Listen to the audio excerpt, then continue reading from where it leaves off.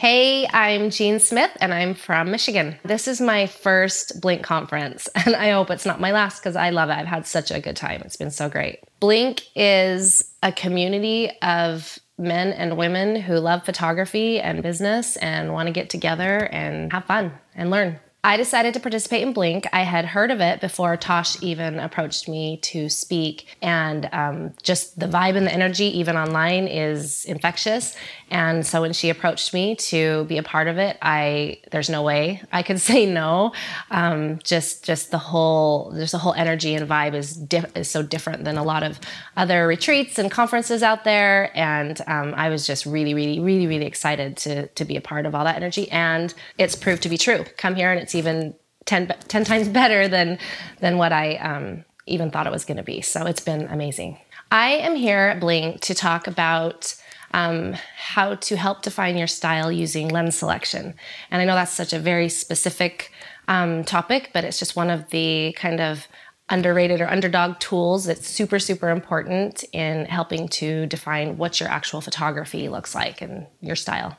I would love for people to come to my presentation and come away realizing that as photographers, we're not just button pushers, that we have so many different tools light, lenses, camera angles, all of these things that actually make our photographs look the way that they do so that we're not just producing images that are pretty or beautiful, but on top of that, that they actually have a specific look and a specific style so that you not only feel proud of what you're creating, it's your art and it, it looks the way that you have and want in your mind, but that others will look at it and know that it's yours because it has a specific um, style or look.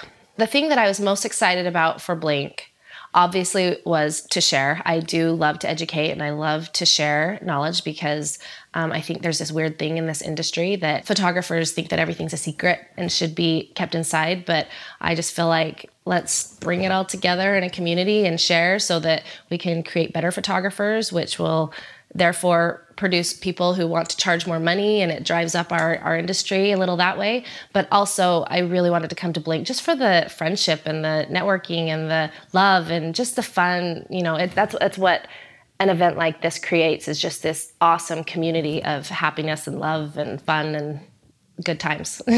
Yeah. A lot of times you know at conferences there's so much inspiration and motivation and a lot of business and you absolutely have to have that. That's an absolute must.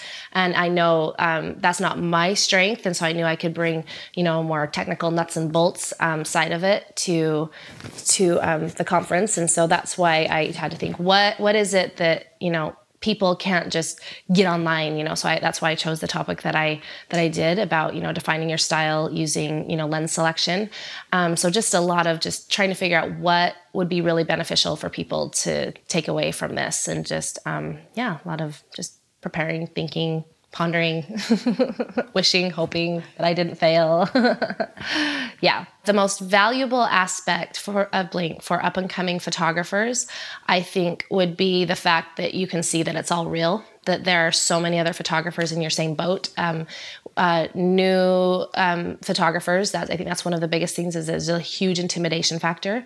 You see all these um, rock star photos out there and just amazing images and a lot of big names in photography. And, and and I think it's very very intimidating. But on the real side of things it's just everybody's out there doing the same thing learning um, starting from scratch learning. And that's kind of what one of the biggest things about this is is that you come here you see all of these other photographers doing the same thing you are same place you are um, able to talk about it, figure things out, learn a lot from other people in the industry. And I think it's just you come away feeling so much more confident and empowered that um, that you're fine. You're you're you're just fine where you're at, and that you're gonna you're gonna make it, and you're gonna learn. And that's everybody's progression. So it's so it's all good.